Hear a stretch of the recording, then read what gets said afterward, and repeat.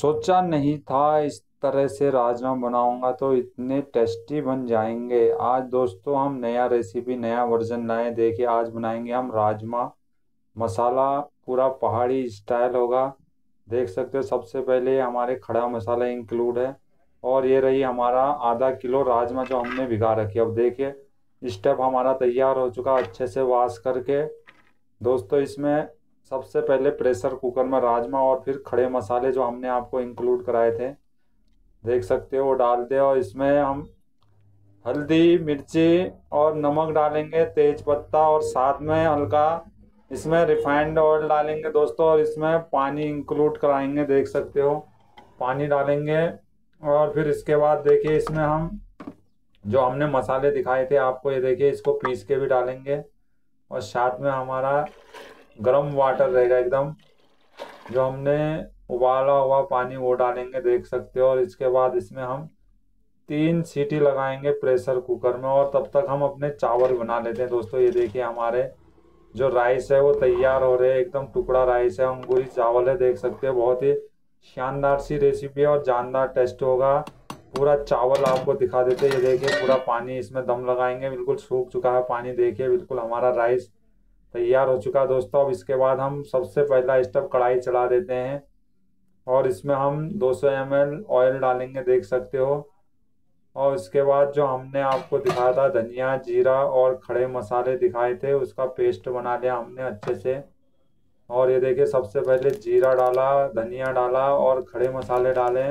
और इसके बाद अब इसमें हम गार्लिक का पेस्ट डालेंगे, देख सकते हो। गार्लिक बहुत ही शानदार, जायका और टेस्ट लाएगा दोस्तों।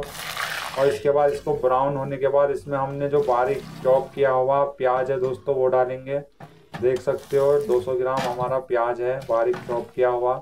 और इसके बाद 100 ग्राम हमने टमाटर की फ्यूरी बना रखी उसमें हमने rajma masala red chilli powder हल्दी पाउडर धनिया पाउडर जीरा पाउडर और खड़ा मसाले का जो बैटर था वो डाल रखा और इससे तैयार की हुई, भिगाया हुआ मसाला। दोस्तों, हमने जो पंद्रह मिनट के लिए भिगा दिया था, आपको दिखा देते हैं।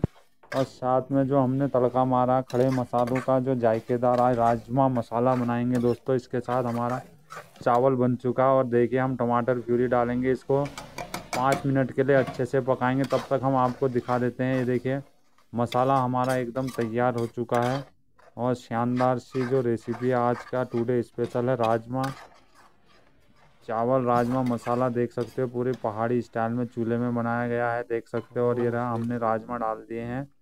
और ये देखिए जो पहाड़ी राजमा है दोस्तों, आपको दिखा दिया है पूरा आधा किलो राजमा है और इसी के साथ जो हमारा राजमा चावल है, स्टेप है, वो तैयार हो चुका दोस्तों। हमारी रेसिपी अगर आपको अच्छी लगे तो ज़्यादा से ज़्यादा लाइक शेयर सब्सक्राइब और बेल आइकन ज़रूर दबाएँ ताकि जो हमारी अगली रेसिपी आप तक पहुँच सके।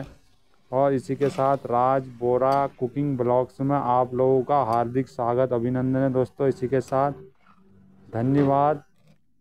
आपको अगली रेसिपी के लिए इंतज़ार करें इसी के साथ हमारी रेसिपियों के लिए बेल आइकन ज़रूर दबाएँ ताकि जो हमारी अगली रेसिपी है आप तक पहुँच सके। धन्यवाद दोस्तों, नमस्कार।